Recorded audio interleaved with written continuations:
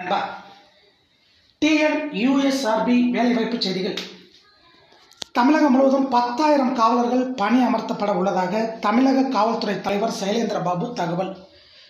ஜூலை பன்னெண்டு வெளியான மிக முக்கியமான தகவல். தமிழக காவல்துறை தலைவர் டிஜிபி சைலேந்திர பாபு சென்னையில் இருந்து சைக்கிளில் புறப்பட்டு தாமரைப்பாக்கம் வெங்கல் சீத்தஞ்சேரி போன்ற பல்வேறு ஊர்களுக்கு வருகிறந்தார் அப்பொழுது அவர் கொடுத்த பேட்டி. வாங்க பார்க்கலாம்.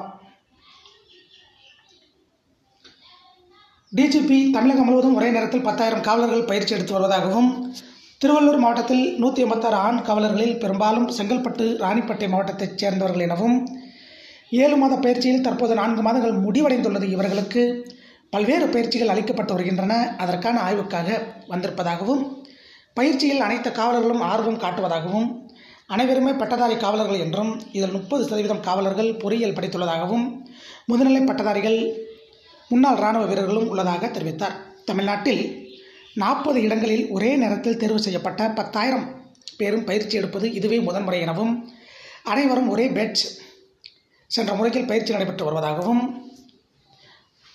ஆம்பு போலீஸ் சிறப்பு பிரிவு உள்ளூர் காவல்துறை என காவல் பணியில் அமர்த்தப்படுவார்கள் எனவும் இந்த பத்தாயிரம் பேரும் பணிக்கு வரும்போது காவல்துறை இளமையான காவல்துறையாக காட்சியளிக்கும் எனவும் மேலும் திருவள்ளூர் மாவட்டத்தில் கலால் மற்றும் போக்குவரத்து துறையில் போதிய காவலர்கள் இல்லை என்ற கேள்விக்கு தற்போது வரவிருக்கும் பத்தாயிரம் காவலர்கள் அதில் பணியமர்த்தப்படுவார்கள் எனவும் தமிழக காவல்துறை தலைவர் சைலேந்திர பாபு தெரிவித்தார்.